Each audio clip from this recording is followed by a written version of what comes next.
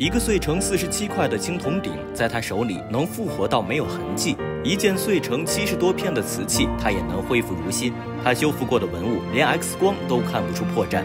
这就是文物医生刘宙的实力。一个年纪轻轻却累积了近二十年文物修复经验的老手，曾多次参与修复国家级博物馆馆藏级文物。他修复过的青铜闵方雷上过国家宝藏，至今仍是湖南省博物馆的镇馆之宝。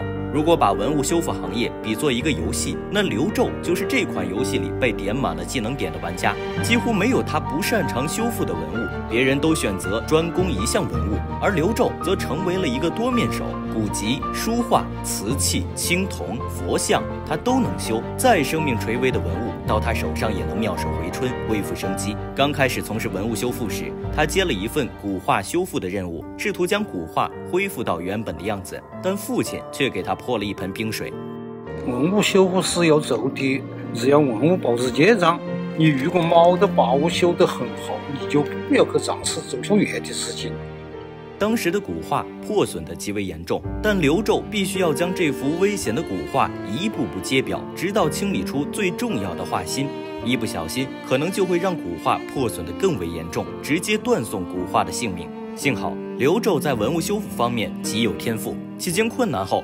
仍旧把破损到仅剩一点碎片的古画修复如初，名声打响后，刘胄受到了文物界的极力欢迎，多次被省市博物馆等权威机构邀请参与考古挖掘及文物保护修复工作。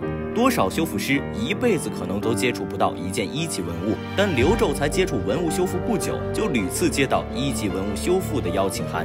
二零一四年，他还受邀参加湖南省博物馆的闵方雷复原项目。当时的闵方雷已经被鉴定为商代晚期青铜器，在国外被拍出近六千万的天价，被称为“方雷之王”，是国家一级重要文物。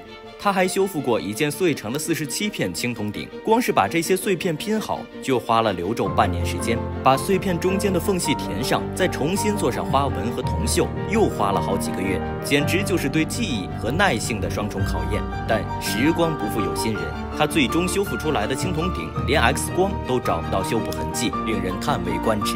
近二十年的文物修复，让刘胄懂得，传承老手艺最需要的就是一颗敬畏之心，一颗匠人。之心。